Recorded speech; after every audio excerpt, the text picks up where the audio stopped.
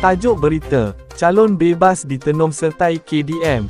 Calon bebas di kerusi Parlimen Tenom, Ridwan Rubin, disahkan menyertai Parti Kesejahteraan Demokratik Masyarakat KDM semalam. Presiden KDM Peter Anthony, berkata Ridwan akan kekal bertanding pada pilihan raya umum ke-15 PRU 15 sebagai calon bebas, namun dibantu jentera parti itu. Tiada logo, bendera atau apa-apa simbol KDM digunakan untuk kempen Ridwan pada PRU 15 ini ditenom, katanya ringkas ketika dihubungi. Terdahulu laman Facebook rasmi KDM berkongsi gambar-gambar Ridwan menyerahkan borang menyertai parti itu kepada Peter yang mendapat sokongan padu ahli parti dalam laman sosial itu. Pencalonan Peter untuk bertanding di Parlimen Tenom pada penamaan calon 5 November lepas ditolak Suruhanjaya Pilihan Raya SPR, menyebabkan kekecohan dalam kalangan penyokong KDM di pusat penamaan itu.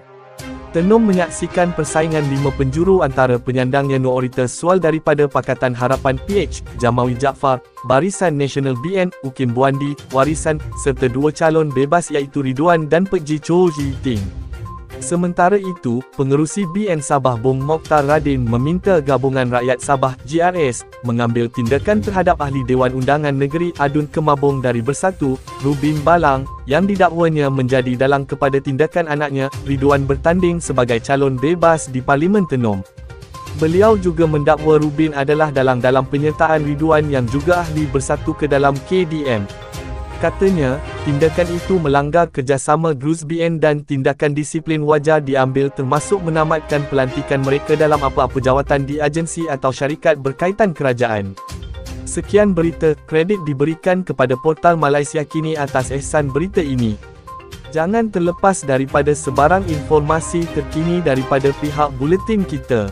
Jangan lupa like, komen, dan subscribe sebagai tanda sokongan anda kepada kami serta kongsikan video kami di media sosial, Facebook, Instagram, WhatsApp group, dan Twitter. Semoga kita semua sentiasa dilindungi daripada segala wabak penyakit, dijauhkan dari sebarang bencana dan sentiasa dimurahkan rezeki. Amin. Ya Rabbal Alamin.